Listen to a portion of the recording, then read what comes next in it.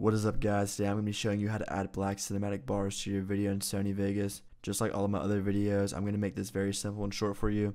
Once you have your video down, you're just going to want to insert a new video track above the video you have down. And you want to go to media generators and go to solid color. You're going to have a whole bunch of colors that pop up, but you're just going to want to place the solid white color above your place video.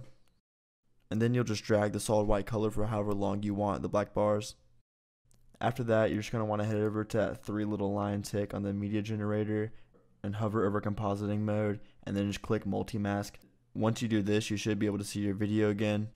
You then want to go over to pan crop and turn off lock aspect ratio. And from then you can just basically customize the size of the black bars that you would like.